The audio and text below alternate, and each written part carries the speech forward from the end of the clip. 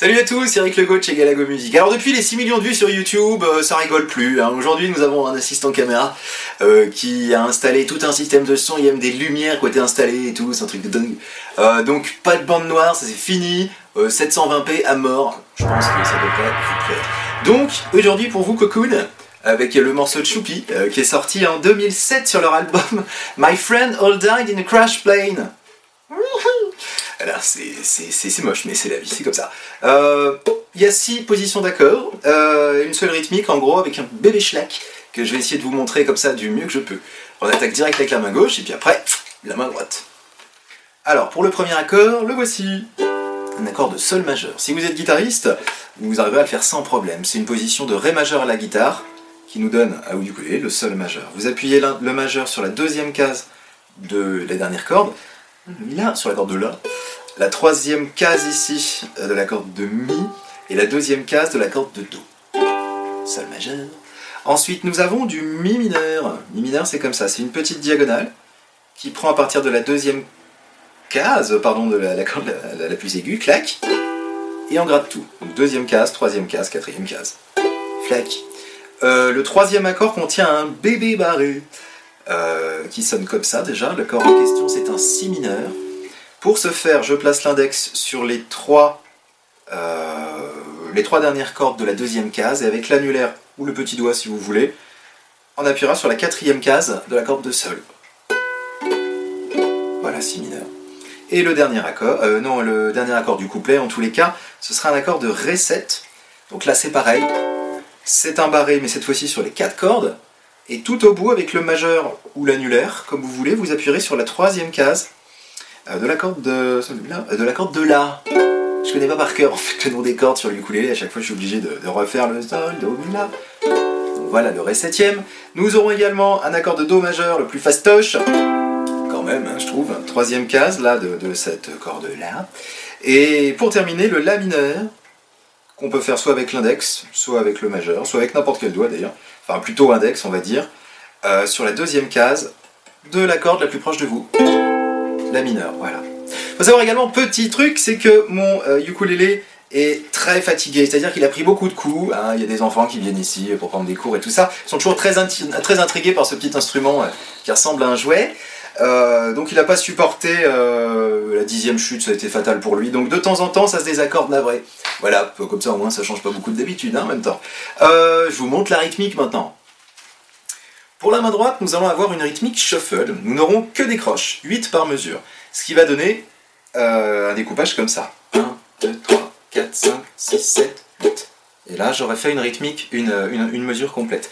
Le shuffle, c'est quand on a donc ces allers-retours qui sont pas réguliers. Si c'était une rythmique binaire, donc pas shuffle, ça donnerait ça. 1, 2, 3, 4, 5, 6, 7, 8. Très carré, très régulier. Avec le shuffle, le coup vers le bas, c'est comme si en fait chaque temps était divisé en 3. Le coup vers le bas durerait 2 et le retour 1. 1, 2, 3, 1, 2, 3, 1, 2, 3, 1, 2, 3, 1, 2, 3.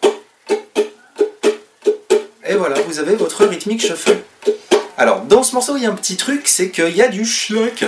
Alors, le schluck, c'est que là, c'est quand on va gratter normalement. euh, là, par exemple, je me place sur un accord de sol à la main gauche. La rythmique normale, elle va faire 1, 2, 3, 4, 5, 6, 7, 8. Le schluck aura lieu sur le troisième et le septième coup. Comment je fais ce, ce- son?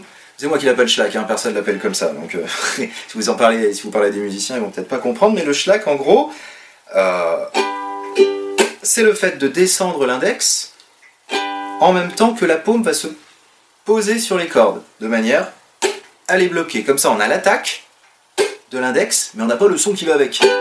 Donc du coup, ça découpe bien, bien, bien, euh, comme si on avait un- une batterie, euh, voilà, qui cognait, les- qui tapait sur la caisse claire sur le deuxième et quatrième temps, qui sont donc respectivement les troisième et septième croches.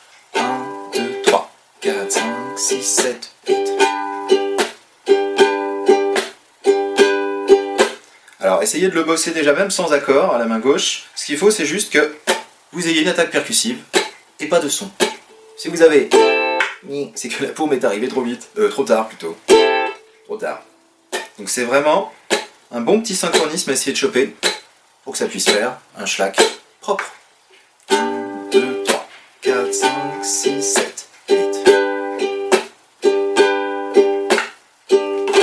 Voilà, bah, maintenant on va voir dans, dans l'ordre dans lequel on enchaîne tout ça.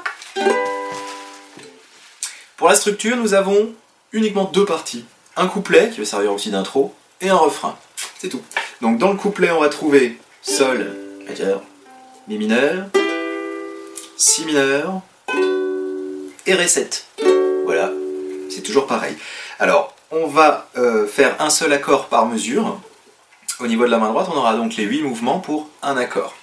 Enfin presque, parce qu'il y a une petite rusounette euh, qui donne ça. En fait, il n'en fait pas 8 dans la mesure sur un seul accord. Il va faire 1, 2, 3, 4, 5, 6, 7, 8. Le 8, en fait, c'est le nouvel accord.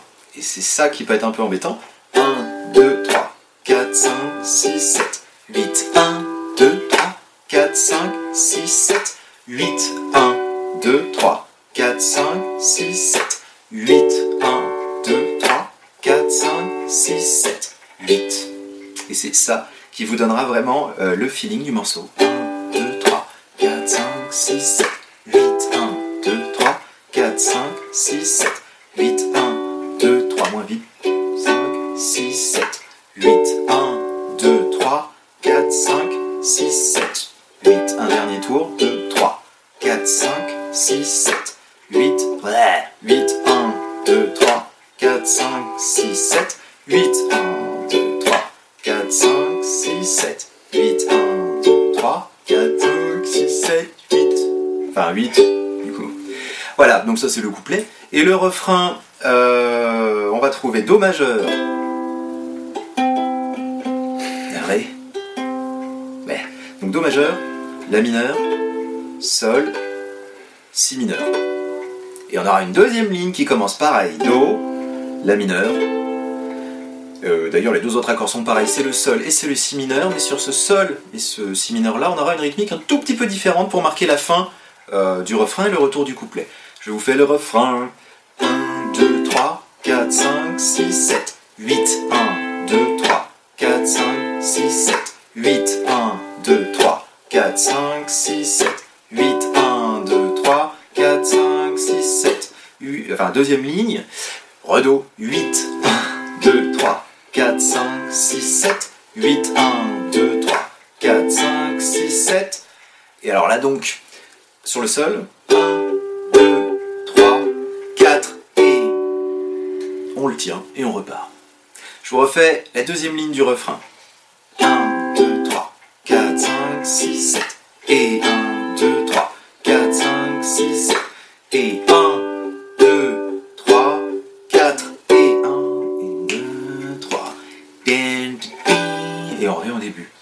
Euh, voilà, donc à chaque fois, euh, on a deux fois chaque partie. L'introduction, on l'aura deux fois. Je, vous- l'enchaîne depuis le début en fait. Je vous le fais pas en entier parce qu'après c'est toujours pareil, mais au moins le départ. Donc on a le A deux fois qui sert d'intro. 3, 4.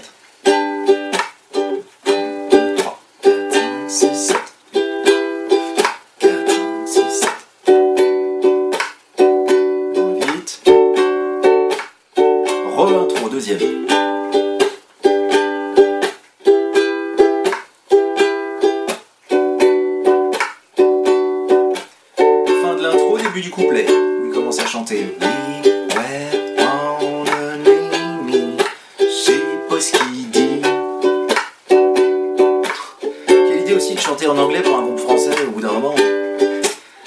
En même temps, euh, leurs potes sont tous morts dans un accident d'avion. hein. D'après, d'après le titre de l'album, bien sûr. C'était donc euh, la quatrième fois du A. Ensuite, nous attaquons le refrain, qui fait donc Hello.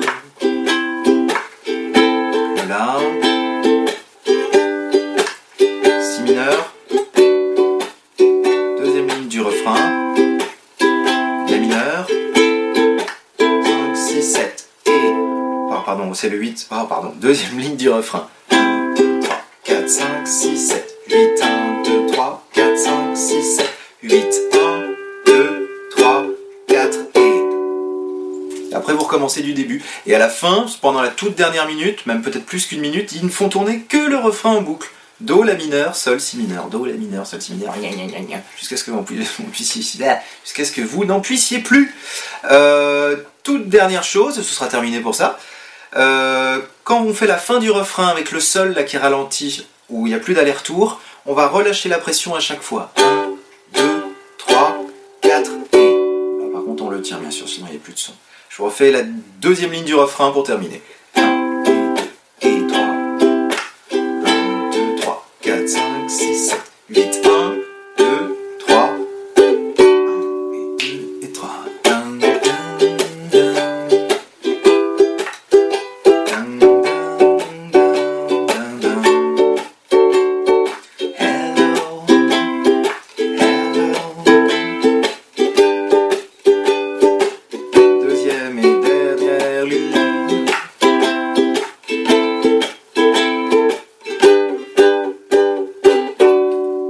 Et vous finissez le morceau, le morceau en sol. Fin du truc. Bon, j'espère que ça vous a plu, ce n'était que le deuxième cours de ukulélé. Donc si jamais vous avez des questions, n'hésitez pas à me, les poser, j'essaierai d'y répondre. Parce que je me dis, euh, contactez-moi, euh, envoyez-moi des mails, et puis en fait j'ai rarement le temps de pouvoir euh, euh, néanmoins, je lis tout le monde, hein, ça c'est sûr. Euh, par contre, vraiment, des fois, je n'ai pas le temps nécessaire pour euh, répondre à tout le monde. Ah ouais. Merci beaucoup en tous les cas pour aujourd'hui. À bientôt. Ciao. Calaco Musique.